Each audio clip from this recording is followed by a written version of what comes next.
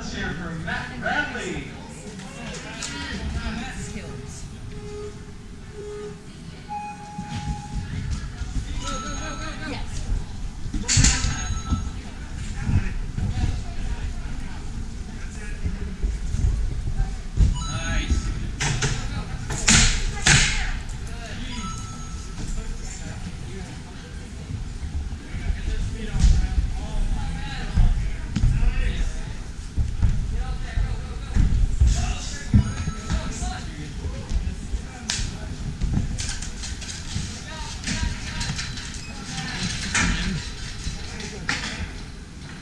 Should have stayed over there.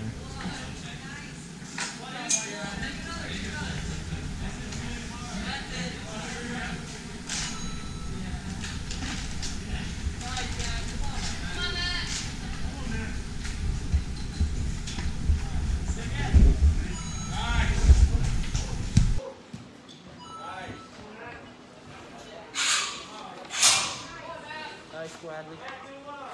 Balls! That balls!